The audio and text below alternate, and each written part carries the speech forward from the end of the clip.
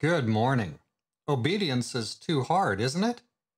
Today we're following the chronology here. We're over here at Jeremiah. Now we're going to chapter 35. We're looking at verses 1 to 5. The word which came to Jeremiah from the Lord in the days of Jehoiakim the son of Josiah, king of Judah, saying, Go to the house of the Rechabites, speak to them, and bring them into the house of the Lord into one of the chambers, and give them wine to drink. Then I took Jaazaniah the son of Jeremiah, the son of Habazziniah, his brothers and all his sons, and the whole house of the Rechabites, and brought them into the house of the Lord, into the chamber of the sons of Hanan, the son of Igdaliah, a man of God, which was by the chamber of the princes above the chamber of Maaseiah, the son of Shallum, the keeper of the door. Then I set before the sons of the house of the Rechabites bowls full of wine and cups, and I said to them, Drink wine.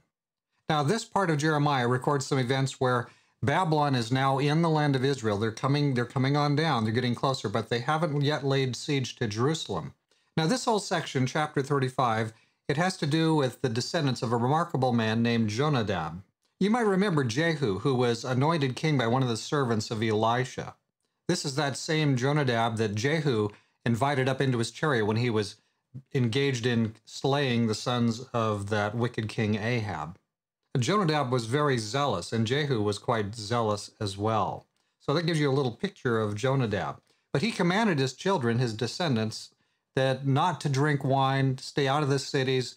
We're going to roam the land. We're not going to plant any vineyards. So now God instructs his servant Jeremiah to bring them in and put wine in front of them. But of course, they were commanded by their ancestor, don't drink wine. So God is setting up a test here. This is something that God is initiating.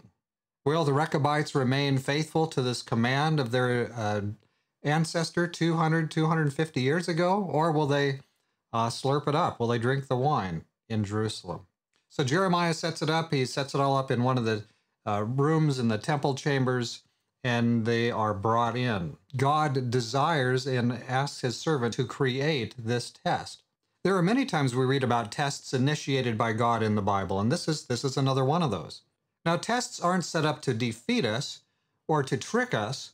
A test is actually a vote of confidence.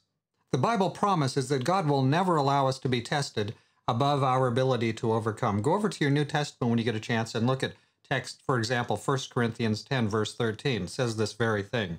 God will not allow you or I to be tested in a way that's too much for us to bear. And this means that every test that God initiates for us to experience is actually a vote of confidence. He's saying, you can go up to the next level now. Check this out. He gives us an opportunity. This is a vote of confidence in his own power to give us victory and in our willingness to choose to receive his power. So we can count it all joy when we experience various trials. Those trials are signals that you've grown spiritually and God is helping you stretch and flex your stronger and stronger spiritual muscles. That's the kind of God we serve. Your personal coach, He's helping you grow all the time. Let's pray. Dear Father in heaven, the Rechabites, we're going to see what happens here the next few days. Will they be faithful or will they slurp it up? Lord, we want to be faithful to you, but we're in a very narcissistic age. It's probably rubbed off onto most of us, Lord.